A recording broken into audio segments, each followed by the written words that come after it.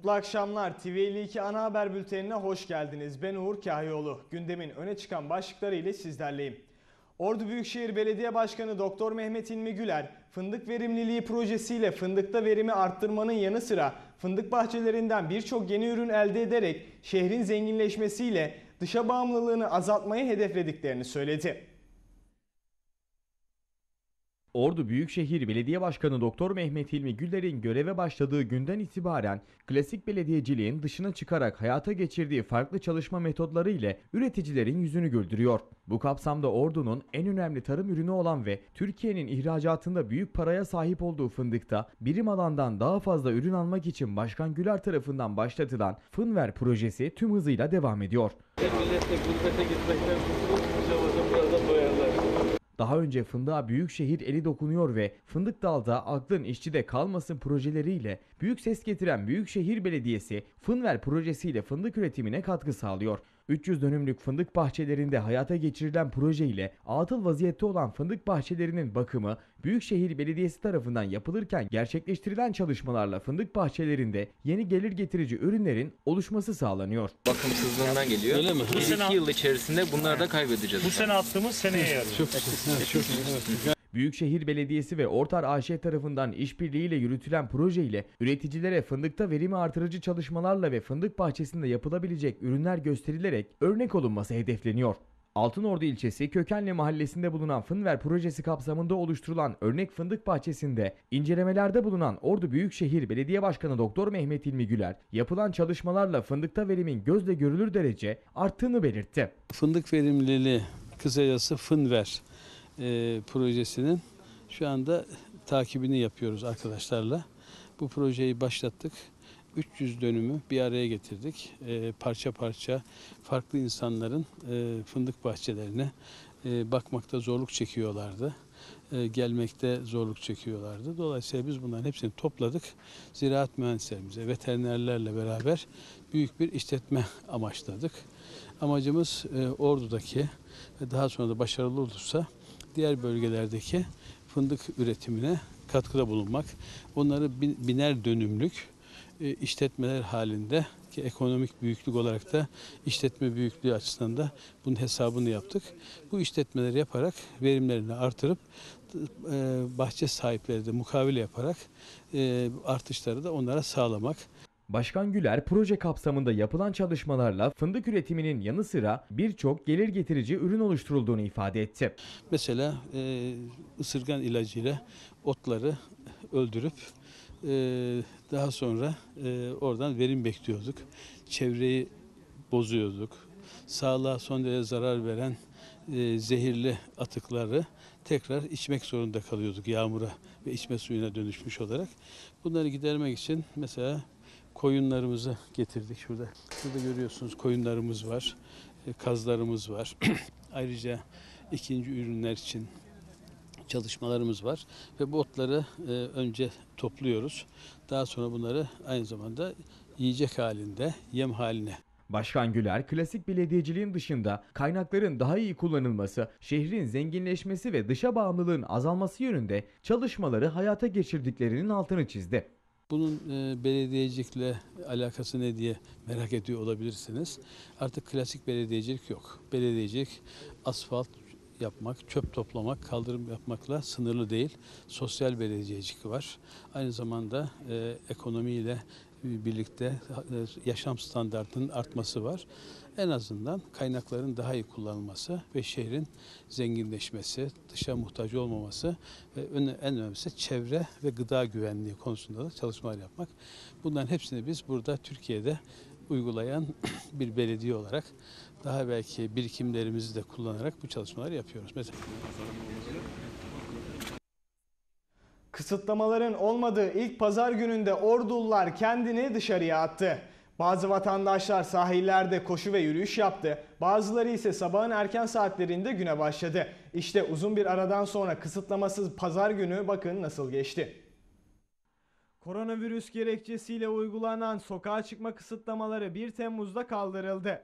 Kararın ardından uzun süredir pazar günleri sokağa çıkamayanlar sabahın erken saatlerinde dışarıya akın etti. Sahiller ve yeşil alanlardaki bazı kişiler koşu, Bazı kişiler ise kahvaltı yaptı.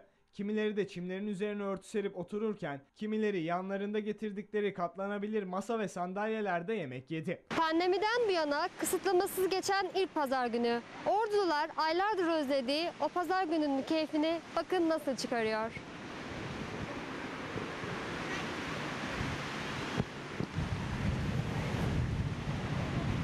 Birçok vatandaş kıyı şeridinde koşu yaptı, bisiklete bindi, çimlerde oturdu. Kimileri ise aileleriyle birlikte pazar kahvaltısının keyfini çıkardı.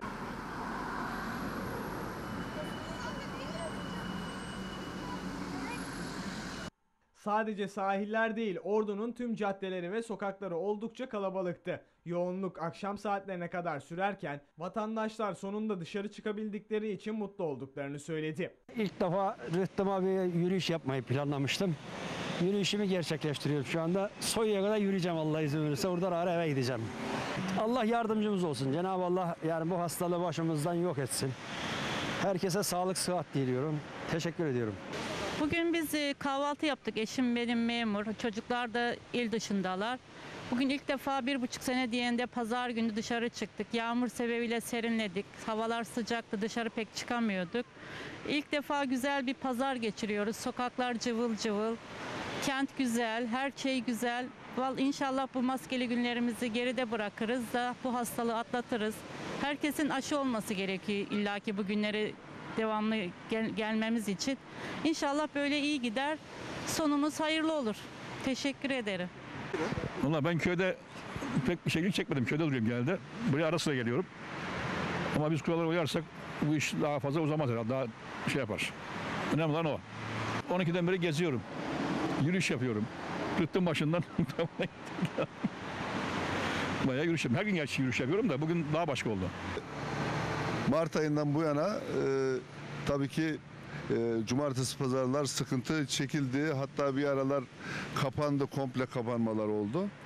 Ama e, sonuçta sağlığımız için olduğu için bunda bir sıkıntı görmedik. E, tabii ki sıkıldık. Hepimiz evlerde sıkıldık. Bugün de yine yağmurdan sonra şöyle bir dolaşalım. Etrafı bir görelim dedik. Yağmurdan yağmuru biraz e, endişeyle izledik. Daha sonra da hava açtı. E, yani pazarı da artık e, bize e, serbest e, etmeleri, bu imkanı elde etmemiz güzel bir imkan. Yani maske ve aşıyla beraber inşallah bu günler geçecek. Daha güzel günler gelecek inşallah.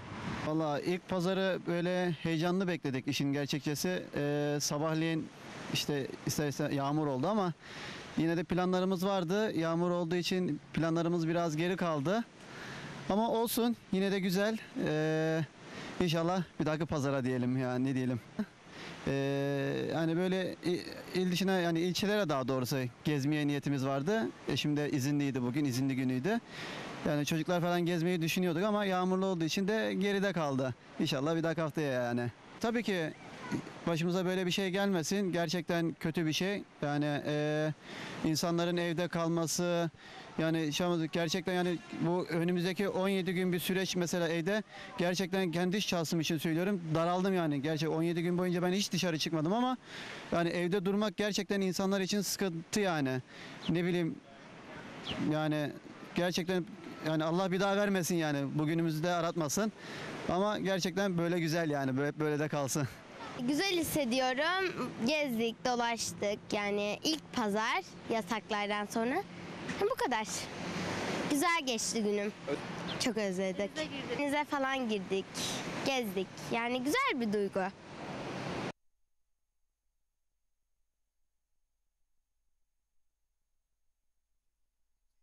Sağanak yağış Ordu'yu bugün esir aldı. İlçelerde görülen sağanak kısa sürede hayatı olumsuz etkiledi.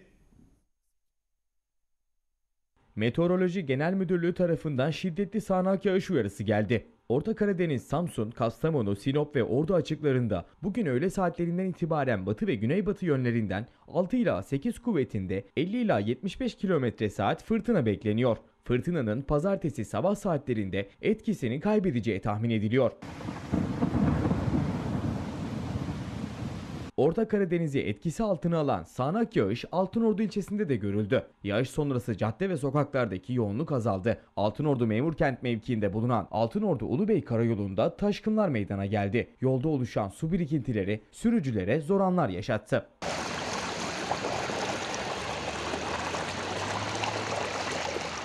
Korgan ilçesindeki sağanak yağışı da Korgan Belediye Başkanı Tuncay Kiraz görüntüledi. Kiraz sosyal medya hesabı üzerinden canlı yayın yaparak yağan yağmuru takipçileriyle paylaştı.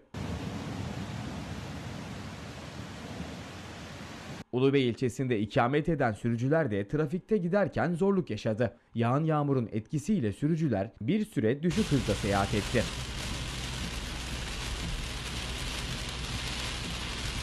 Fatsa ilçesinde ise sağanak yağış hayatı olumsuz etkiledi. Vatandaşlar yağmuru evlerinin pencerelerinden görüntüledi.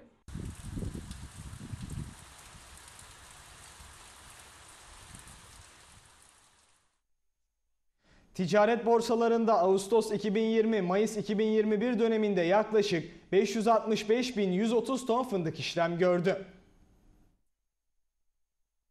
Giresun Ticaret Borsası'ndan yapılan açıklamaya göre fındık üretilen bölgelerdeki 21 ticaret odasında söz konusu dönemde gerçekleştirilen fındık satış işlemlerine ilişkin bilgi verildi. Buna göre Ağustos 2020 Mayıs 2021 döneminde borsalarda toplam 565.130 ton fındık işlem gördü.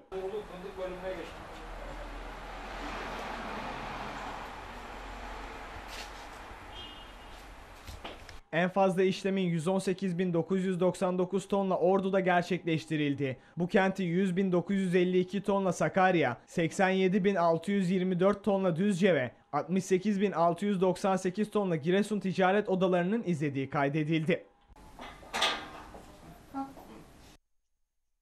Sağlık Bakanı Fahrettin Koca geçtiğimiz çarşamba günü sağlık çalışanları ve 50 yaş üstü vatandaşların 3. doz aşı için artık randevu alabileceklerini söylemişti. Açıklamanın ardından vatandaşların kafasında soru işaretleri oluştu. Acaba ilk iki doz aşısını olan biri 3. doz aşısını farklı bir aşıdan olabilir mi? Ordu Tabip Odası Başkanı Ali Coşkun konuyla ilgili TV52 Haber'e açıklamalarda bulundu.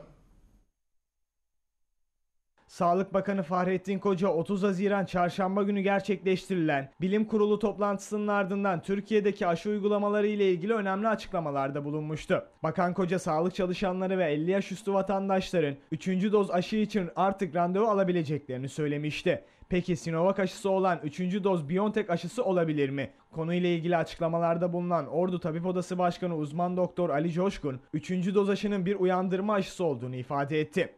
Ülkemizde özellikle başta sağlık camiası olmak üzere yaş gruplarına göre üçüncü doz aşı da vurulmaya başlanmıştır. Üçüncü doz aşı yani uyandırma dozu yani destek dozu dediğimiz aşı özellikle koronavirüs vakalarında e, şart olmuştur. Çünkü 6 ay sonunda antikorlar, önceki yaptırdığınız aşının antikorları neredeyse tükenmektedir. Bu bazen 4 aya kadar inmektedir. Dolayısıyla bir üçüncü doza, yeniden bir başlangıca ihtiyaç vardır. İlk iki doz Sinovac aşısı olan 3. dozu BioNTech aşısı yaptırabilir mi sorusuna cevap veren Ali Coşkun, konuyla ilgili hiçbir bilimsel verinin olmadığını ifade ederek kişisel olarak cevap vermek gerekirse 2 doz Sinovac aşısı yaptırdım. 3. doz aşımı BioNTech yaptıracağım. Bu durum herkesin kişisel tercihidir dedi. Fakat bize en çok sorulan sorular şunlar. Eğer biz e, ilk iki dozu Sinovac yaptırdıysak üçüncü dozu hangisini yaptırmalıyız? BioNTech mi Sinovac mı veya tam tersi? Bunların cevabı olarak şunu söylemek istiyorum. E, bununla ilgili hiçbir dünyada veri yok. Çünkü yeni yapılan bir aşı. İlk defa üçüncü dozu yapılacak bir aşı. Bütün dünyada bunu böyle yapıyor. E, dolayısıyla Sinovac'tan sonra BioNTech mi daha iyi olur veya BioNTech'ten sonra Sinovac mı daha iyi olur? Hiçbir bilimsel veriyle dayalı değil. Ama ben kişisel tercihimi söyleyeyim. Biz sağlıkçılar olarak iki doz Sinovac yaptırdık. Ben üçüncü dozu kendime BioNTech yaptıracağım. E, bu şekilde düşünüyorum. Dolayısıyla e, bu tamamen tercihe bağlı. Her iki aşının da yeterince antikor yaptığını biliyoruz. Her iki aşı da gerçekten bizi 4-6 ay süresince iyi anlamda korudular. Onun için e, kesinlikle birbirlerinden çok farklı olduğunu düşünmüyorum ama kendi düşüncem e, BioNTech'in e, daha iyi olabileceğini düşünüyorum. Öte yandan Coşkun daha önce Covid-19'a yakalanan kişilerin tek doz BioNTech aşısı olabileceklerini söyledi. Yeni bir noktadan da bahsetmek istiyorum. Daha önce koronavirüs enfeksiyonu geçiren, bu rahatsızlığı yaşayan kişilerde, yani antikor oluşmuş kişilerde, e, PCR'ı pozitif çıkan kişilerde e, artık tek doz BioNTech aşısı yeterli olacaktır. Yani onlara iki doz yapılmayacak. Yeni Sağlık Bakanlığı uygulamasına göre tek doz BioNTech aşısı yeterli olacaktır. E, bunun dışında BioNTech aşısını e, eğer sağlık merkezlerine öğleden önce giderlerse vatandaşlarımız oradaki sağlık personelinin yardımıyla randevusuz da yaptırabilirler ama öğleden önce. E, fakat Sinovac için ve diğer aşılar için öğleden sonra yapılacak aşılar için mutlaka randevu alınması şart. Ordu'nun Ulubey ilçesindeki Sartdere Damarlı Karayolu'nda yol yapım çalışması başladı. Yürütülen çalışma dolayısıyla Sartdere Damarlı Karayolu platformu tarafından Elma Çukuru mahallesinde bir program düzenlendi. Ordu'nun Ulubey ilçesinde Sarpdere Damarlı Karayolu yol yapım çalışması başladı. Karayolları Genel Müdürlüğü'nce yürütülen çalışma dolayısıyla Sarpdere Damarlı Karayolu platformu tarafından Elma Çukuru mahallesinde program düzenlendi.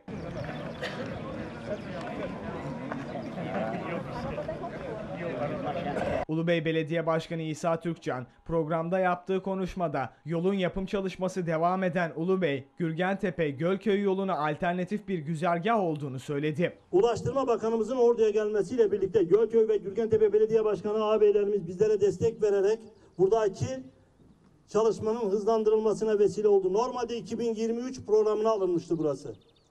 Ama bugün itibariyle kazma vuruldu. Yaklaşık bir aydır yine Karayolları Şube Şefimiz, kıymetli hemşerimiz Sertaş kardeşimiz sanki kendi evinin yoluymuş gibi gece gündüz demeden burada ekibiyle birlikte sabah saat 6'da başlayıp sabah akşam saat 8'e kadar çalışmaları takip edip ve çalışıyorlar. Dua edilmesi ve kurban kesilmesinin ardından protokol üyeleri çalışmalara başlanan karayolunu gezdi. Vehdina ve vafikna ilel hakki ve ila.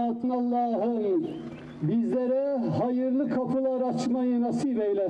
Programa Gürgentepe Belediye Başkanı Yaşar Şahin, Gölköy Belediye Başkanı Fikri Uludağ, Karayolları 77. Bölge Şefi Sertaş Erkoç, Platform Başkanı Osman Karaca, platformun basın sözcüsü Abdülaziz Özen ile davetliler ve vatandaşlar katıldı. Sosyal medyada yayın yapan bir kanalın konuğu olan Büyük Birlik Partisi Ordu İl Kadın Kolları Başkanı Fatma Yümlü, hükümeti eleştirdiği iddiaları ile sözlerinden iki gün sonra iş yerine gelen polisler tarafından ters kelepçe takılarak gözaltına alındı. Ordu Valiliğinden yapılan yazılı açıklamaya göre ise Yümlü'nün Covid-19 temaslısı olarak gözaltına alındığı bildirildi. Büyük Birlik Partisi Ordu İl Kadın Kolları Başkanı Fatma Yümlü, Ünye ilçesinde bulunan ve sosyal medyada yayın yapan bir televizyon kanalına konuk oldu. 30 Haziran akşamı yapılan programda vatandaşlardan gelen soruları da cevaplayan Yümlü, 2002 yılından 2007 yılına kadar AK Parti çatısı altında çalıştığını ancak daha sonra yaşanan bazı olaylar nedeniyle partiden uzaklaştığını söyleyerek 2013 yılında Büyük Birlik Partisi'ne geçtiğini açıkladı. Yümlü programda AK Parti hükümetini eleştirdi ve bir vatandaş olarak huzurlu, ekonomisi iyi, işsizlik sorunu, kadın cinayetleri olmayan, adaletli bir ülkede yaşamak istediğini söyledi. Programda yaptığı açıklamalardan sonra Büyük Birlik Partisi Ordu Kadın Kolları Başkanı Fatma Yümlü, kendisine ait iş yerine gelen polislerin ters kelepçe takarak gözaltına alındığını söyledi. Yanındaki getirdiği bayana eee, dedi ki tak kelepçeyi dedi. Dedim ki kardeşim ben katil miyim dedim. Ya ne kelepçesinden bahsediyorsun dedim. Sonra işte kapat dükkanı gidiyoruz dedi bana. Tabii yine söylediğim gibi müşteri var. İşte arkadaşlar aşağıdalar. İçeriye geldim arkadaşları çağırıyorum. Hatta ben şöyle dedim. Tamam vereyim TLC'yi de dedim en azından. Hani kapansın bugün çünkü kapı polis dolu. Sanki bir katil varmış gibi burada. Hayır dedi TC'ni falan da almıyorum. Biz emniyete geleceksin dedi. O zaman siz geçin ben geliyorum. Aracım da burada ben gelirim dedi. Hani müşteriyi gönderip gidecektim. Yani polisin bana yaptığı şey hiçbir yani. Kolumu gardarak böyle hani tutuyor beni ki arkadan kelepçeyi taktıracak bayana. Ben katil miyim ya? Kelepçe takıldı mı peki? Kelepçeyi taktılar. Ve ben katilmişim gibi herkesin gözü önünde beni arabaya götürdüler. Öte yandan Ordu Valiliği olayla ilgili duyuru yayınladı. Duyuruda Bugün bazı basın yayın organlarında yer alan Büyük Birlik Partili kadın yönetici iktidarı eleştirdiği için gözaltına alındı haberi gerçeği yansıtmamaktadır. Söz konusu olayla ilgili aşağıdaki açıklamanın yapılmasına gerek duyulmuştur. 02.07.2021 tarihinde saat 14.30 sularında Altınordu ilçemizde ilçe sağlık müdürlüğü filyasyon ekipleri emniyetimizi arayarak Fatma Yümlü adlı esnafımızın Covid-19 temaslısı olduğu ihbarında bulunmuştur. Covid-19 temaslısı olduğu için belirtilen adrese polis ekipleri intikal etmiş. Ancak o esnada adı geçen vatandaşımızla ekiplerimiz arasında istenmeyen bir gerilim yaşanmıştır. Bunun üzerine konuyla ilgili valiliğimizce soruşturma başlatılmıştır. Kamuoyuna saygıyla duyurulur denildi. Altınordu ilçesi Yeni Mahalle'de bir kuru temizlemecide yangın çıktı. Yangının dükkanda bulunan klimadan çıktığı öğrenildi. Altınordu Yeni Mahalle'de klimadan olduğu şüphelenilen bir kuru temizlemecide yangın çıktı. Olayı ihbar alan Ordu Büyükşehir itfaiye ekipleri adeta seferberlik ilan etti.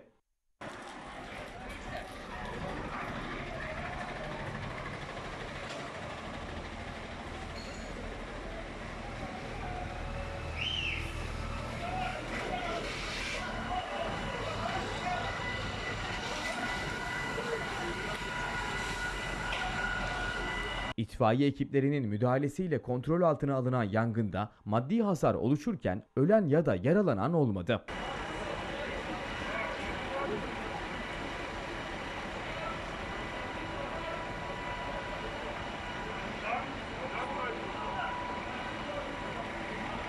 Çevrede paniğe yol açan yangın saniye saniye kayıt altına alındı. Olay yerine gelen polis ekipleri ise yangınla ilgili soruşturma başlattı. Ordu Büyükşehir Belediyesi itfaiye ekipleri kafası demir borusuna sıkışan yavru kediyi bir saati aşan ve titizlikle yürüttüğü çalışmayla kurtardı. Ünye ilçesine bağlı Düzköy mahallesinde yavru bir kedi kafasını demir boruya sıkıştırdı. Durumu fark eden çevredekiler olayı Ordu Büyükşehir Belediyesi itfaiye ekiplerine bildirdi. Kafası boruya sıkışan kediyi alarak Ordu Büyükşehir Belediyesi İtfaiye Dairesi Başkanlığı'na ait atölyeye götüren itfaiye ekipleri burada yavru kedinin kurtarılması amacıyla çalışma başlattı.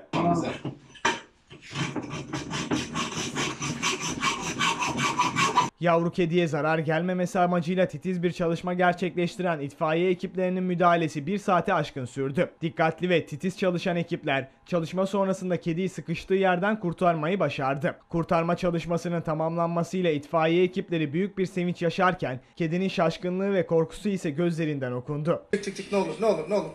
Allah aşkına. Abi hemen şunu suya sokalım. Hadi. Şey var mı? Oo. ha. Hadi. Tebrikler arkadaşlar. Tebrikler tebrikler. Bravo. Ordu itfaiyesi tarafından veterinerde tedavisi tamamlanan kedi daha sonra sahibine teslim edildi. evet şimdi annesinin yanına gidiyor. Arkadaşlar emeğinize sağlık. Teşekkür ederiz. Altınordu ilçesi Karapınar Mahallesi organize sanayi bölgesinde inşaatta mahsur kalan köpeği hayvansever bir vatandaş kurtardı. Köpek inşaattan çıktıktan sonra koşarak bölgeden ayrıldı. Altınordu'nun Karapınar mahallesinde organize sanayi bölgesinde inşaatta mahsur kalan köpeği hayvansever bir vatandaş kurtardı. Evde kahvaltısını yaparken inşaatın içerisinden köpek sesi geldiğini duyan Kaan Ayhan, inşaat alanına gittiğinde mahsur kalan köpekle karşı karşıya kaldı. Köpeği inşaattan kurtarmak için içeri giren Ayhan, merdivenlerden inemeyen köpeğe yardım ederek onu inşaattan çıkardı. Köpek inşaattan çıkarıldıktan sonra koşarak bölgeden ayrıldı. Ordu Gölköy Güzelyurt Sosyal Yardımlaşma ve Dayanışma Derneği düzenlediği kahvaltı programında eski üyeler ve yeni üyeler bir araya geldi. Ordu ili Gölköy Güzelyurt Sosyal Yardımlaşma ve Dayanışma Derneği yaptığı son programla geçmişteki üyelerle birlikte yeni üyeleri tek bir çatı altında toplayarak kahvaltı programı düzenledi. Programın açılış konuşmasını yapan Ordu AK Parti Milletvekili Şenel Yediyıldız, Gölköy'ün sorunları bitmeye yakın ilçelerimizden biri olacaktır diyerek derneğin hayırlı olmasını temenni ediyorum. Yolumuz açık olsun hep beraber yarışarak yolumuza devam edeceğiz. Ülkemize, şehrimize, Gölköy'ümüze ne hizmetler yapılacaksa yapmaya çalışacağız dedi. Gölköy bizim önemli ilçelerimizden birisi. Değer verdiğimiz ilçelerimizden birisi. Yıllarca problemleri olan, problemleri çözülemeyen ilçelerimizden birisi. Ama hamdolsun şükrolsun bugün e, problemleri önümüze kattık. Yavaş yavaş bitirmeye çalışıyoruz. Bitireceğiz inşallah. E, Gölköy'ün işi maşallah ışıl ışıl olmuş. Gölköy ışıl ışıl bir ilçemiz olmuş. Onun için Sayın Başkan'a çok teşekkür ediyorum. Biz e, belediye başkanımızla, oradaki teşkilatlarımızla, oradaki insanlarımızla hep beraberiz. Gölköy için ne yapmak gerekiyorsa, nasıl ne yapacaksak hepsini yapacağız. Ordu için ne yapmamız gerekiyorsa yapacağız. İnşallah e, Gölköy, Ordu sorunları olmayan veya sorunları bitmeye yakın olan ilç- e, yerlerimizden olacaklar. E, bu vesileyle de ben buranın hayırlı olmasını temenni ediyorum. Gölköylü hemşehrilerime burada güzel hizmetler, birliktelikler ve beraberlikler oluşturmasını temenni ediyorum. Yolumuz açık olsun.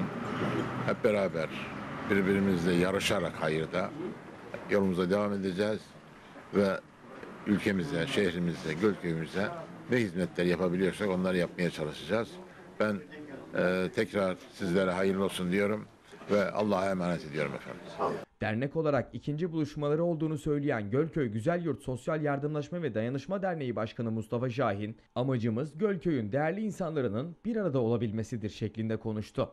Tabii Gölköylüler Derneği'nin yerinin, lokalinin değişmesi hasabıyla dernek yönetimi olarak ikinci buluşmamızı yapıyoruz. Bugünkü buluşmamızın amacı geçmiş dönemde Gölköy'deler Derneği Başkanlığı yapmış değerli abilerimiz de var aramızda. Onları da bir araya getirelim. Derneğimizin yeni yerinde güzel sohbetle başlayalım. Bugün işte Gölköylüler buluşmasında Gölköy Belediye Başkanımız ve Sayın Milletvekilimiz Onur konuğumuz. Onlara bir kere öncelikle hoş geldiniz diyorum. Gölköylüler olarak Ordu'da etkin Gölköylülerin yoğun olduğu bir mahalleye derneğimizi taşıdık. Şirin Evler Mahallesi'nde.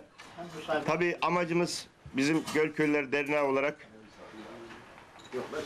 tek tek Gölköy değil de hep birlikte güçlü, müreffeh Gölköy. STK olarak amacımız Gölköylü hemşerilerimizin Gölköylü değerli insan değerli insanların bir arada olabilmesi, onların sivil toplumla iştigal edebilme noktasındaki e, bir araya getirip beraberliği sağlayabilmek. Onun için bugün aramızda çok kıymetli misafirlerimiz de var. Tekrardan hoş geldiniz diyorum. Kuruluşundan bugüne dek emeği geçen herkese teşekkür eden Gölköy Belediye Başkanı Fikri Uludağ, belediye olarak derneğin her zaman yanında olduklarının altını çizdi. Ben öncelikle bu programı düzenleyen şu anki yönetime teşekkür ediyorum. Tabii ki biz 90'lı yıllarda e, dernekçilikte ilk e, ile taşındığımızda e, kurucu başkan Cemil Kaya dayımdı ve yanında sürekli çalışıyorduk ve merakla, hevesle koşturuyorduk. Kuruluşundan bugüne kadar e, ilçemiz derneğinin kuruluşunda emeği geçen bütün dernek başkanlarına ve yönetimine teşekkür ediyorum. Şu anki görevde olan arkadaşlarımıza da başarılar diliyorum. İnşallah hep beraber ilçemizin tanıtılmasında, kalkınmasında ve e, STK olarak biz belediye olarak hepinizin ve her zaman yanınızdayız. Bize belediye olarak, şahsıma ve belediye olarak e, belediyemize düşen her türlü katkıyı sağlamaya hazırız. Ben e, bu vesileyle yeni yerin hayırlı olmasını, gençlerimize ve milletimize, ilçe halkımıza e, daha güzel hizmet vereceklerine inanıyorum. Bu vesileyle sizleri tebrik ediyorum. Başarılar diliyorum. İnşallah hep beraber ilçemizin kalkınması ve tanıtımında hep beraber görev yapacağız. Size ve ekibimize başarılar diliyorum. Allah utandırmasın. Son olarak kapanış konuşmasını yapan İyi Parti Ordu İl Başkanı Ekrem Şentürk, derneğin kuruluşundan bu yana hizmet edenleri bir araya getirmeyi amaçladıklarını belirterek Gölköylüler Derneği hizmetine devam ediyor, Gölköy'ün hakkını ve hukukunu koruyacağız diyerek cümlesini tamamladı. Gölköylüler Derneğimizin kuruluşundan bu yana e, derneğimize hizmet eden arkadaşlarımızı bir araya getirmeyi amaçlamış idik. Yani e, mazi ile AT arasındaki diyaloğu e, tesis etmek ve korumak zorundayız. E, ve bütün Gölköylülerin birbirini tanıması, yardımlaşması, dayanışması, ruhunu, hukukunu e, yaşatmak adına bugün e, bir de ahde vefa olsun anlamında e, geçmiş dönemde Gölköylüler Derneği'ne hizmeti olan kurucuları, e, görevlileri, hizmet edenleri bir araya getirdik. Böylece e, biraz maziyi dertleştik. O anlamda bir araya geldik. Tüm Gölköylülere selam olsun.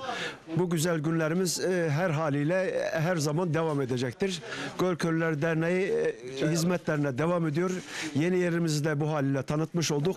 İnşallah güzel hizmetlerimiz olacak. E, Gölköy'ün hakkını, hukukunu e, korumaya ve geleceğini inşa etmeye kararlılığımız devam ediyor. Tüm Gölköylülere, tüm izleyicilere selam ve sevgilerimizi sunuyorum. Allah'a emanet olsunlar. Teşekkür ediyorum. Kısa bir reklam arasının ardından tekrar sizlerleyiz.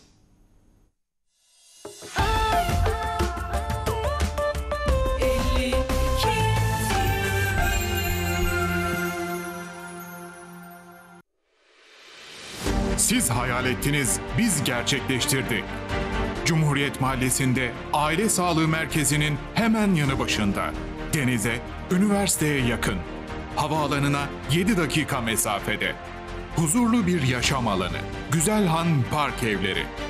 Toplam 5000 metrekare alan üzerinde 8 blok 91 daireden oluşan projemiz 3 artı 1 ve 1 artı 1 havuza sıfır daireler, geniş yeşil alanları, kamelyaları, çocuk oyun parkı, yarı olimpik yüzme havuzu ile sizlere sunulmaktadır. Güzelhan Park Evleri, GRP Gayrimenkul Güvencesiyle sizleri bekliyor. Bilgi için 0452 888 18 18. Burası sadece bir ev değil. İçinde mutluluk var. Ali için eğlence, Ayşe için yaşam, Melis için huzur, Kemal için yatırım. Onlar için burada gelecek var. Hepsi için Ramadanlar. Çünkü temelinde güven var.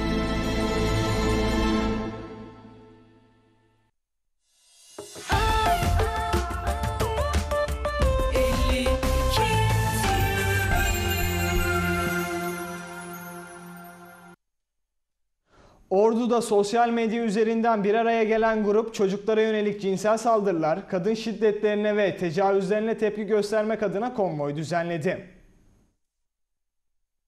Sosyal medya üzerinden organize olan bir grup son günlerde iki kardeşin yaşadığı ve tüm Türkiye'de yankı uyandıran cinsel saldırı, kadın cinayetleri, tecavüz gibi konulara tepki göstermek ve dikkat çekmek adına Ordu Organize Sanayi Bölgesi'nde toplandı.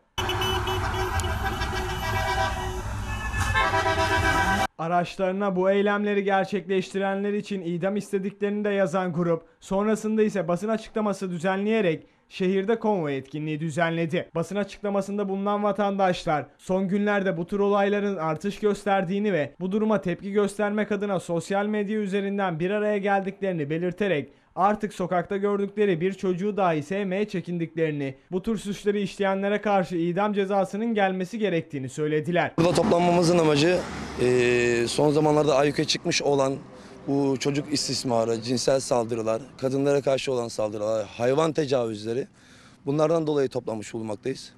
Eee, bu bizim için Türkiye Cumhuriyeti için bir başlangıç olsun. Dünyada yapılan böyle sessiz kalınan bir sürü tavır davranış, bir saldırı var. Yani e, aslında baktığınız zaman çok da büyük bir şey yapmayacağız ama yani en azından bunu klavye üzerinden değil de e, fiziki bir şekilde e, burada arkadaşlarla beraber çevremizle beraber toplandık. E, konvoy yapacağız.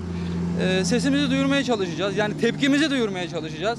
Sadece e, evlerimizde oturup e, klavye üzerinden e, protesto etmek değil amacımız. Yani bunu hani e, legal bir şekilde tabii ki e, protesto etmeyi, tepkimizi göstermeyi düşünüyoruz. Grup basın açıklamasının ardından düzenledikleri konvoy ile şehir turu attı.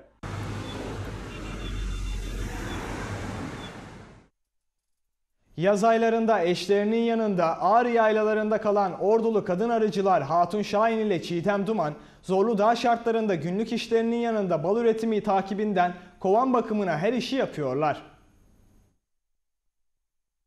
Ağrı yaylalarına gelen ordulu kadın arıcılar kaliteli bal üretmek için eşleriyle zorlu mesai yapıyor. Türkiye'de gezgin arıcılığın yaygın yapıldığı illerden Ordu'da yaşayan arıcılar, zengin bitki örtüsüne sahip bölgelerde bal üretmek için çoğunlukla Doğu Anadolu bölgesindeki yaylaları tercih ediyor. Uzun yıllar Doğu illerini karış karış gezen arıcılar, son yıllarda tercih ettikleri bereketli ağır yaylalarına kovanlarını bırakarak bal üretiyor. Yüzlerce kovanlarını dere kenarları ve geven otunun yoğun olduğu alanlara bırakarak burada çadırlarda yaşamlarını sürdüren gezgin arıcılar en büyük desteği de eşlerinden görüyor.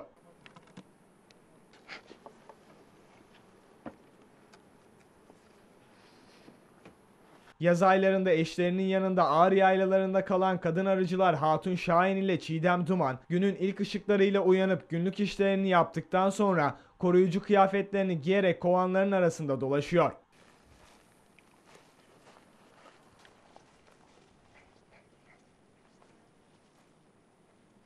Ellerine aldıkları kova içerisine dumanla kovanları tek tek kontrol eden kadınlar petek ve arıları inceleyerek bal durumunu kontrol ediyorlar. Sonra paklanır sonra. Sen evdekine bırak. Sonra paklanır. Kaliteli bal üretmek için gece gündüz demeden kavurucu sıcaklarda çalışarak eşlerine destek olan kadın arıcılar zaman zaman da kovanları onarıp çıta bakımı yapıyor. Kadın arıcılar kovanların bakımının yanı sıra konakladıkları yerde bahçe oluşturarak sebze de yetiştiriyor. Başka da yok zaten. Şu ortada. Ana dediğimiz, kraliçe dediğimiz arı bu. Arıcı Hatun Şahin ekmek paralarını kazanmak ve geçimlerini sağlamak için ailesiyle Ağrı'ya yaylalarında arıcılık yapmaya geldiklerini söyledi. Oğlumla, eşimle buraya e, arıcılık yapmaya geldik. Ekmeğimizin peşinden geldik. E, Dünürümüzün önünde komşuluk yapıyor. Sabah namazından kalkıyor, kahvaltı yapıyor. Ondan sonra e, ben biraz yemeğine, bulaşığıyla zamanımı geçiriyorum öğlene kadar. Öğlenden sonra eşime, oğluma e, arıda yardım ediyorum. Biz böyle e, ekmeğimizi helalından kazanmaya çalışıyoruz. İl il buraya Ağrı'ya geliyor. Buradan sonra da Çarşamba'ya gidiyor. Samsun Çarşamba'ya. Kışlığını da orada geçiriyor. Çiğdem Duman da yavaş yavaş hasada hazırlandıklarını dile getirdi. hazırlığını yapıyoruz. Sonra biraz ara verip bal çekimine geleceğiz. Biz Karateniz hanımları eşimize her işte yardım ediyoruz. Bahçede, arada, her yerde. Arıcılık güzel, bağımlılık yapıyor. Zevkli oluyor. Gece aralarla zamanı geçiriyoruz. Çalışıyoruz. Boş zamanımız çok az oluyor zaten. Bu haberle ana haber bültenimizin sonuna geldik. Gece bülteninde tekrar görüşmek dileğiyle. Hoşçakalın.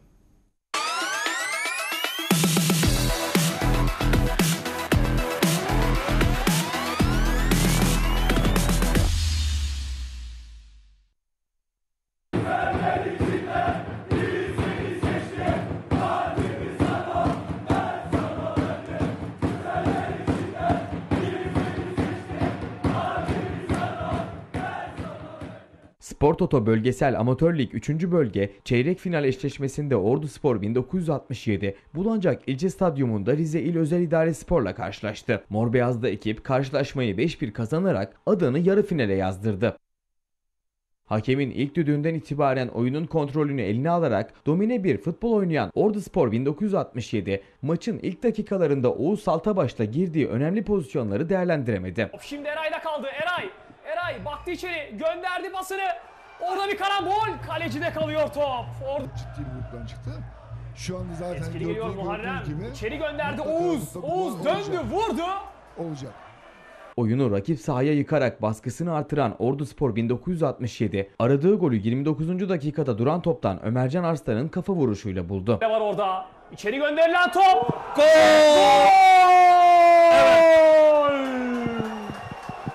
Evet. Ömer Can Aslan. Evet. Gerçekten müthiş bir gol atıyor.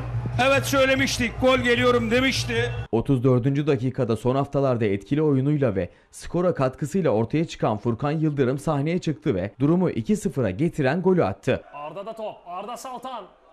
Furkan'ı gördü. Furkan vurur mu? Furkan sıyrıldı. Furkan girdi içeri. Furkan!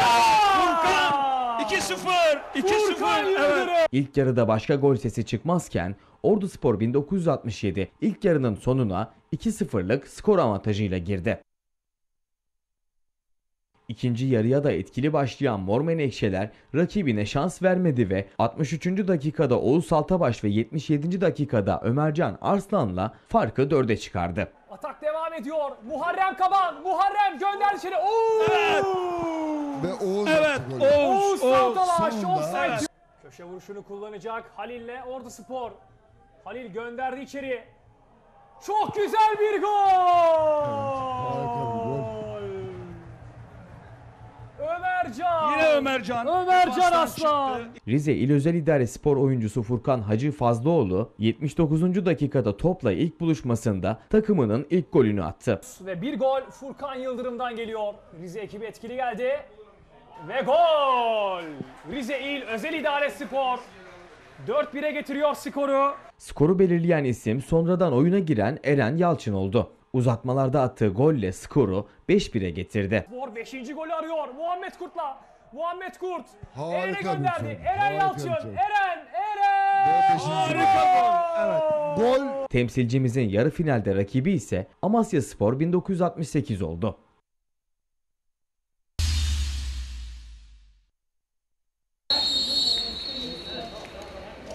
Ordulu siyasiler kozlarını bu sefer futbol müsabakasında paylaştı. Birçok siyasi il ve ilçe başkanının katıldığı dostluk maçı 19 Eylül stadyumunda gerçekleştirildi. Maç öncesi açıklamalar yapan Saadet Partisi Gülyalı İlçe Başkanı Halil Cebeci, organizasyona katılan herkese teşekkür ederim. Siyasi il ve ilçe başkanlarımızla bu güzel organizasyonda birlikteyiz. Amacımız ordu siyaseti adına birlik ve beraber olup tek yumruk olabilmek dedi. Aramızda güzel bir organizasyondayız. İnşallah ordu siyaseti adına, birlik ve beraberlik adına, geleceğe umutla bakma adına güzel bir organizasyon oldu. Herkese, siz değerli basına da teşekkür ediyoruz. İnşallah daha güzel organizasyonlarda hep birlikte bir araya geliriz. Ee, İktidar Partisi'ndeki arkadaşlarımız ordunun eli ayağı, e, muhalefetteki arkadaşlarımız da ordunun gözü kulağı. Bütün olarak ordunun ruhunu bir araya getirmek ve ordu adına tek yumruk olabilmek. Sadece amacımız buydu. Çok teşekkür ediyorum size. Cebeci sözlerine dostluk karşılaşmasının şu an için tek maçlık yapılacağını ancak ilgi ve talebin yoğun olduğunu ve sinerjinin devam etmesi halinde iller arasına taşınabileceğini dile getirdi. Maçlık yaptık ama e, gelen talepler var. Eğer bu sinerji devam ederse bunu belki de iller arasına e, orduyla Giresun arasına da çoğaltabiliriz. E, değerlendireceğiz. İnşallah bu sinerji değerli basının da verdiği katkıyla hedefine ulaşır diyoruz inşallah. Karşılaşmanın hakemliğini yapan FIFA Kokart'ta eski hakem Ali Aydın ise açıklamalarında düzenlenen bu etkinlikte ordu siyasilerinin hep birlikte Türkiye'ye güzel bir mesaj verdiğini söyleyerek sporun birleştirici gücünün çok daha farklı olduğunu dile getirdi. siyasi parti yöneticilerinin hep beraber e, Türkiye'ye bir e, mesajı, önemli bir mesajı var. E, daha doğrusu daha da güzel tarafı sporun e, birleştirici gücü çok daha farklı olduğunu bir kez daha ortaya koydu. Onun için e, ordu bu anlamda herkesin çok güzel çağdaş bir şekilde yaşayabildiği, birbirlerini her an her şekilde tatlı bir rekabetin yaşandığı bir ildir. Bunun da mesajını çok güzel veriyoruz. Karşılaşmanın sonunda kazanan ise ordu siyaseti oldu.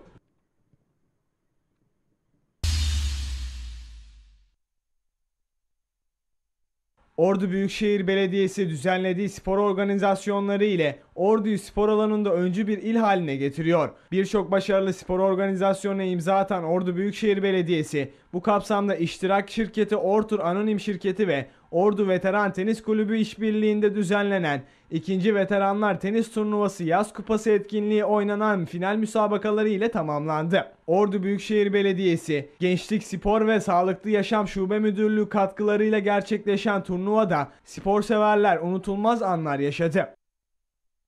18 Haziran 3 Temmuz 2021 tarihleri arasında Fatih Sultan Mehmet Spor Kompleksi tenis kortlarında gerçekleştirilen turnuvaya 32 erkek, 8 kadın tenis sporcusu katıldı. Birbirinden çekişmeli müsabakaların yaşandığı turnuvada kadınlar kategorisinde Sevgi Pehlivan, erkeklerde ise Hamit Şanverdi birinci oldu. Kadınlarda Gülşen Tapanoğlu, erkeklerde ise Yaşar Bayramlı ikinciliği elde etti. Turnuva sonrası dereceye giren sporculara kupa ve madalyalarının verilmesi amacıyla kupa töreni düzenlendi. Törende konuşan Ordu Büyükşehir Belediyesi Genel Sekreteri Coşkun Alp, tenisin çok ciddi bir spor dalı olduğunu söyledi. Maçı da beraber izledik. Nefes nefese bir maç izledik. Ben her iki sporcumuzu da tebrik ediyorum. Çünkü bana göre kazanan ya da kaybeden yok. Çünkü e, üç buçuk saat süren bir müsabaka ciddi bir müsabakadır. E, ciddi bir performans sergilediler. Her iki sporcumuzu da ayrı ayrı tebrik ediyorum. E, tenis gerçekten e, ciddi bir spor. E, ve yine hocamızın bahsettiği gibi aynı zamanda ilimizin turizmine, ekonomisine katkı sağlayacak e, bir spor dalı. E, o yıllarda başlayan ve ilimizde devam eden bu müsabakalar artarak devam ediyor ve bundan sonra da devam edecektir. Bize düşen de oradaki şeyi arkadaşlarımızla beraber değerlendirip tekrar hayata geçirebilir miyiz? Ona bir bakacağız. Ordu Veteran Tenis Kulübü Başkanı Furkan Yıldırım ise konuşmasında Ordu'nun birçok turnuvaya ev sahipliği yapacak tesislere kavuştuğunu belirtti. Yıldırım, Büyükşehir Belediyesi'nin tenis sporu için önemli destekler verdiğinin altını çizdi. Öncelikle Ordu Büyükşehir Belediye'mize teşekkür ediyorum. Ee, Daha sonra bize burada ev sahipliği yapmış olan Ortur ve tesis yöneticileri ve personellerine de oyuncular ve kulübüm adına çok teşekkür ediyorum. Ee, Bildiğiniz üzere tenis sporu tüm dünyada kabul görmüş en elit ve nezih sporlardan bir tanesidir. Ülkemizde de her yıl yaklaşık olarak 500'ün üzerinde e, her yaş grubunda turnuva düzenlenmektedir. Şehrimiz 30 yıl önce bu sporla tanışmış olmasına rağmen bu pastadan yeteri kadar pay alamamıştı. Ama şu anda elimizde bulunan bu mevcut tesis sayesinde artık hak ettiğinden de fazlasını almaya aday bir şehir görüyorum burada. Ee, Büyükşehir Belediye'mizin kulübünün öncülüğünde şehrimizde artık genç, performans ve senior düzeyde e, birçok turnuvayı ev sahipliği yapabilecek kapasitedeyiz. E, Bunu yönlendirebilecek, e, bunu yapabilecek kulüplerimiz ve hocalarımız mevcut. Konuşmalar sonrası derece yapan sporculara madalya ve kupaları takdim edildi. Törende ayrıca Ordu tenisine verdiği emek ve katkılardan dolayı Ahmet Doğru'ya ise yaşam boyu spor kupası verildi.